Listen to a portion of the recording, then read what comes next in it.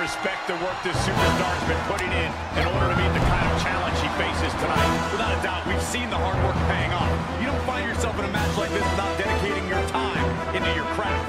All that time spent has her in a good position to pull off a victory here.